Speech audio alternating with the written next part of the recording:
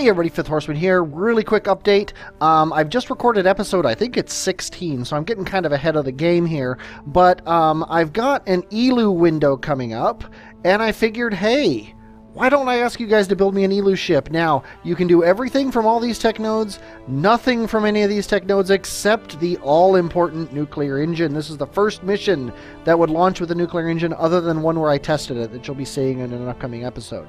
So, get uh get to your uh, get to work. Make me an Eeloo ship. Uh, ideally a lander that can return uh, a Kerbal or two. Hey, bring send two guys up. Why not? to Eeloo to get me that that fine fine science. I would definitely appreciate it. Uh, talk at you later.